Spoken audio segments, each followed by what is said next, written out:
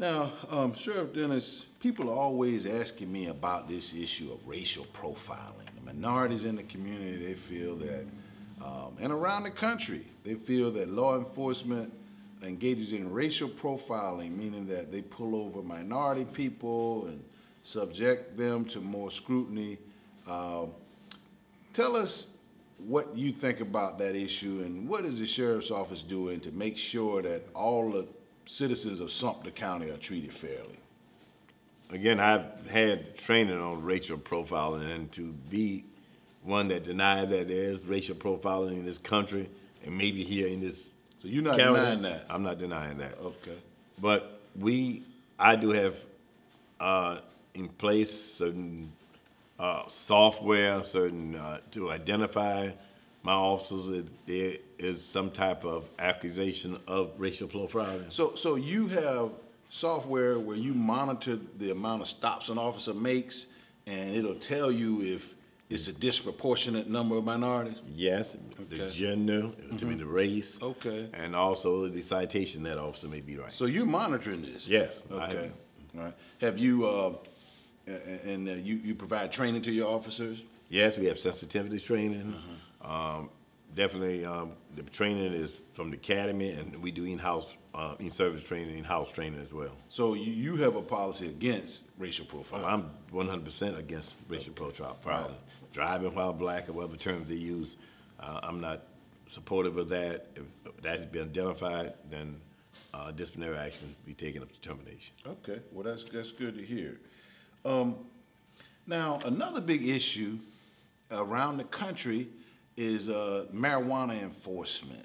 A lot of people believe that, uh, marijuana enforcement is, uh, is racially based, that minorities get targeted more, um, that, um, some, a lot of places around the country is marijuana, some, uh, law enforcement agencies, they're not even enforcing, uh, uh, crimes of possession of small amounts of marijuana. People are saying that it disproportionately affects uh, minorities. There's also the issue of medical marijuana.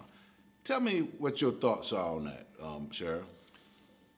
I do believe, you know, there has been, uh, volume, the volume much higher of African Americans that have been arrested with, um, marijuana. But there are agencies that do not prosecute, like you say, simple possession of marijuana. I do believe that marijuana is a legal drug. I think until it is removed from that uh, being illegal, um, Sumter County Sheriff Office will continue to enforce it. Uh, So as long as the law, you feel like you got to enforce it. I, that's, that's what I was sworn to do. Yeah, I understand I was sworn to do. And it doesn't have to, do anything to do with the gender, the race. We will continue to enforce marijuana as long as it is illegal. Okay. Um, the medical marijuana, I am supportive of the medical marijuana. I may not be supportive of the article, of the uh, amendment that they're trying to pass with it. Uh, and I only can be supportive of it once it's passed by the Food and Drug Administration. Okay. I cannot go to, I, I go to certain drug stores to get my drugs. right. my more medication. Right. Uh, the way that, uh, this amendment is being passed, you go to a head shop and get it. Okay.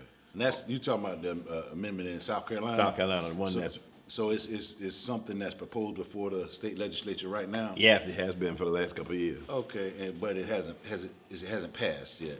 And we have fought it from our association, from the South Carolina Sheriff's Association. Okay. Um,